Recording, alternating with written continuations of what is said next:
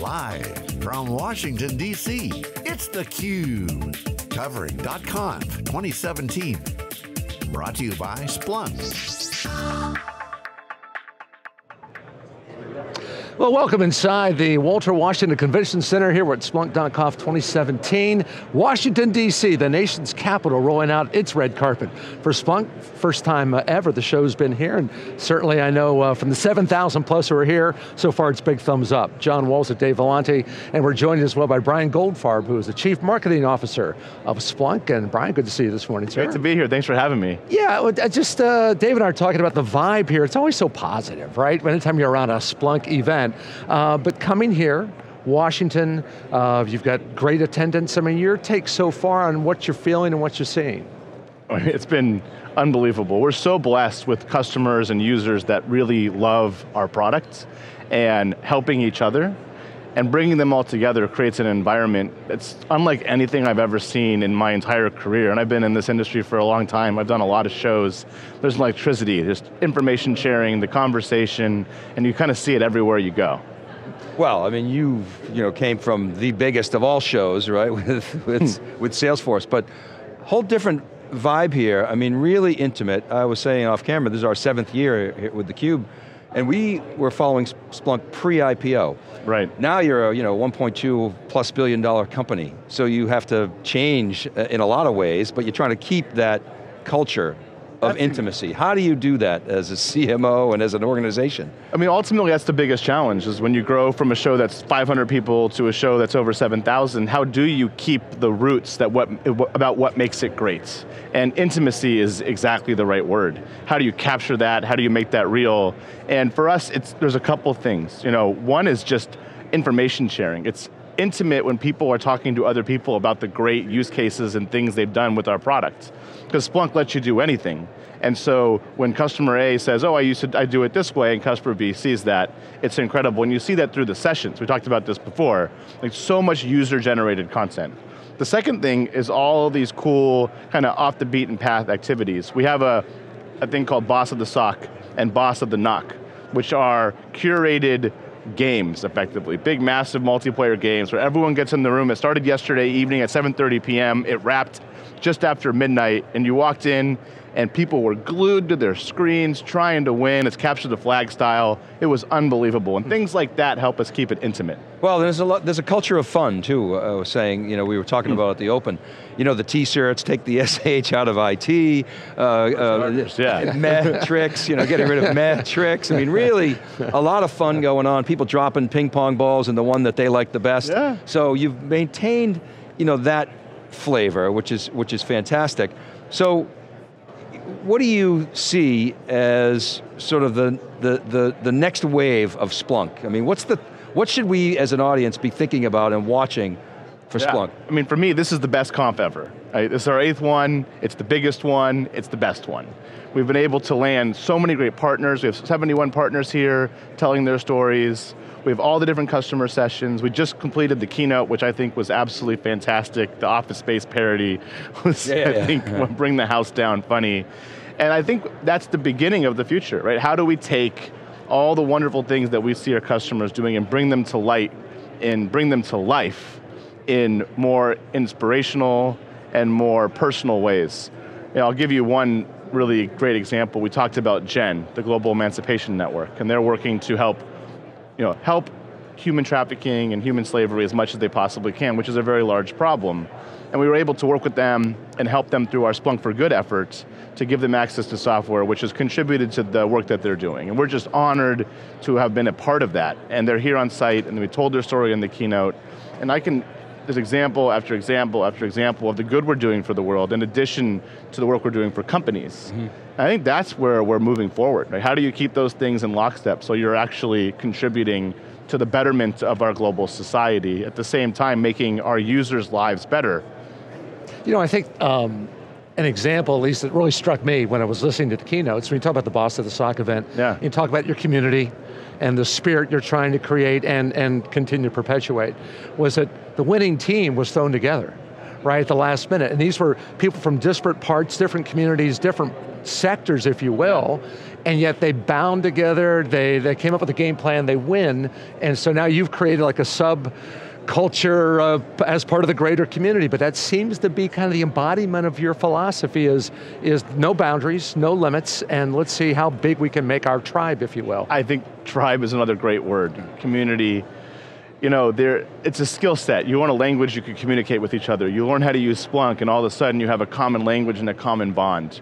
And Team Last Minute, which won Boss of the NOC, like, it, you can't be, you can't, you can't plan for those kinds of things, right? People came together with a common understanding of how to accomplish a task, formed instantaneous camaraderie, and then were able to solve difficult problems. And if you bridge that to a conversation about business, right, we're all trying to solve problems. Technology, they say, is hard. We all know it's the culture and the people that's the most difficult thing to do. And if we can be something that provides technology that helps drive culture change and people change, that's critical in transformation.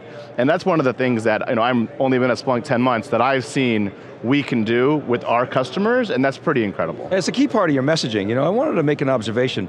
When we followed Splunk early on, during the ascendancy of the so-called big data meme, Splunk never really talked about big data. You just sort of did it. You know, you solved problems. Uh, now that you know, big data is sort of passe, Actually, you guys talk about big data. It's very interesting to me. I wonder if you could talk about that a little bit. I, you know, uh, lots of people like to throw out buzzwords, industry terminology. We try really hard to avoid uh, really getting into it, like digital transformation being one of the we've like, no one's ever say that. because it doesn't help anyone, right? At the end of the day, you have to find the problems that our customers have, build solutions to help them solve that. And it turns out, you know, when big data was the hype, that wasn't the problem that customers have. But with the explosion in data over the last decade that continues to grow, we are actually now seeing true big data style problems.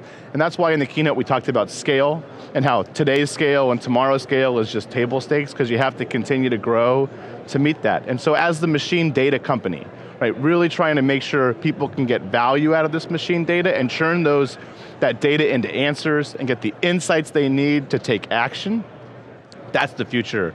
And with big data, because it's no longer buzzy, right, then there's, all, there's new buzzwords we can avoid. It just is. It just is. Everyone has a ton of data. I, think the point you're making about digital transformation is interesting. We do uh, uh, over 100 of these a year, and every, the vast majority are digital transformation with no meat on the bone. Right. And to us, a digital business is, is one that leverages its data. So when you think about the evolution of Splunk, it's all about leveraging data, and and we're seeing, do you envision a Splunk where Splunk actually becomes that, that development platform for applications, that, which has been the nirvana of so-called big data for years. It appears that Splunk is becoming just that. I think that's part of our long-term strategy, and that the beginnings of that already exist. Mm -hmm. Splunkbase has over 1,200 apps that extend mm -hmm. the Splunk platform already, and those apps do anything from make it easier to ingest data from different data sources, to visualize data through interesting dashboards, to customize searches. A great example, ransomware, we talked about it in the keynote, super hot topic in the industry, something that's affecting the world at large, and something we want to make sure we're helping people deal with. We launched a new product called Splunk Insights for Ransomware, which is just an app built on top of Splunk that gives you better dashboarding, better searching, and better licensing for customers to get in, pay per user, get started really fast, and solve that particular problem.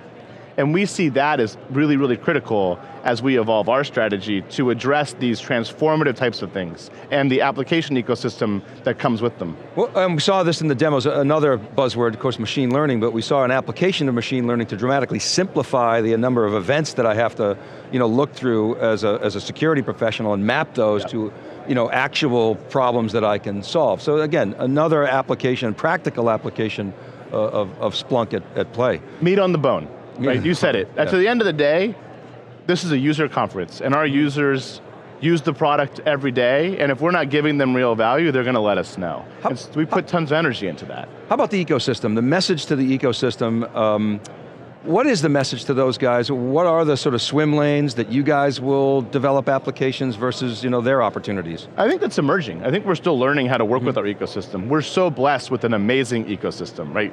A huge community of participants, We talked about the Splunk Trust, this core group of 42 people, we inducted 14 new ones today, who really embody everything that is so great about our company and our customers and what they do for their constituents. And they are helping us think through, you know, where can you build and how do you build and who should build and getting that real-time feedback. And all the partners that are here, right, are adding value. And that's our goal, create the platform so that we can solve everyone's machine data challenges at scale so they can provide better answers and ultimately more value to their company.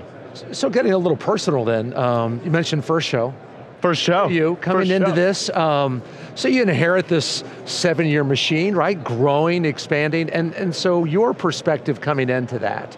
Um, what have you brought, you think, you've seen as an outsider who's now an insider, Yeah. and, and maybe leverage the culture that was being created to take us to where we are here this year here in DC? And one of the main reasons I came to Splunk was my extremely positive impression of the product and the brand and the customer community around it. My entire history at Microsoft and Google, Cloud Platform and Salesforce was predicated on customers who love the products. You can't create that, right? You earn that through amazing work and amazing technology. And being able to walk in here at Splunk and already have that was the gift that I that really got me excited.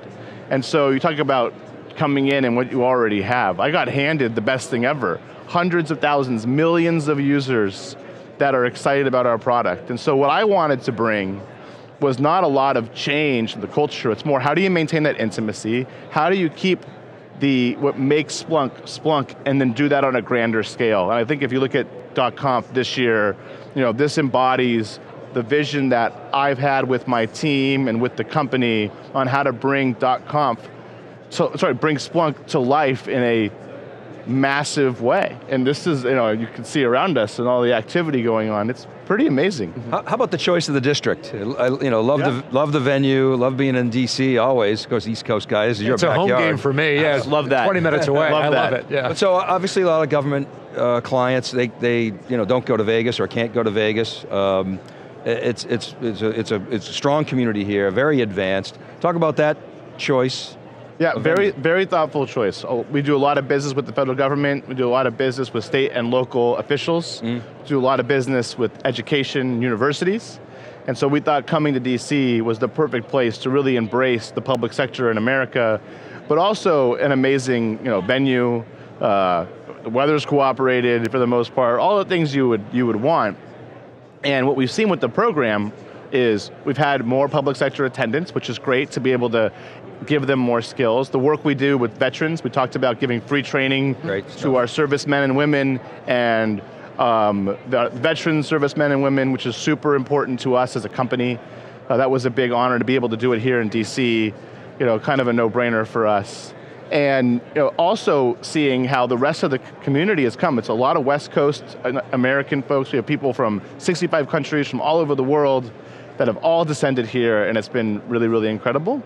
So it's been really good for us. And as we think through next venues and future years, I think there's a lot of really exciting things to come. But being in DC is an honor for the company and it's been great to see the turnout. Hey, my last question. Um, several years ago, Gartner came out with a stat that CMO is going to spend more than the, the CIO on technology. I, I don't know if that ever came to fruition, but it was an interesting you know, uh, prediction. Um, as, a, as a CMO, somebody who's obviously using data uh, from, from marketing what, and at a data company, what's the state of that? What's your philosophy around data, the intersection of data and marketing? Yeah, I've read those Gartner articles too. the Chief Marketing Technology Officer. Uh, you know, and my background is deeply technical. I was an engineer by training. Right. And so our CIO, Declan, and I have an incredibly tight relationship, and I actually think that's the future. Right? Marketing is data. And that's the big change that's happening in the marketing landscape. Right? There's old school marketing, advertising, things like that, that make sense in maybe B2C kind of opportunities. But if you're in a business to business universe, working with larger enterprises and governments like we are at Splunk, there's a new age of marketing that's evolved over the last decade that is predicated with operational data that helps you make better decisions, invest more, make more personalized engagements, right? This doesn't have to be throw a big thing and hope someone sees it. I can engage with you and you in a personal and intimate way, which aligns incredibly well with our culture and who we want to be.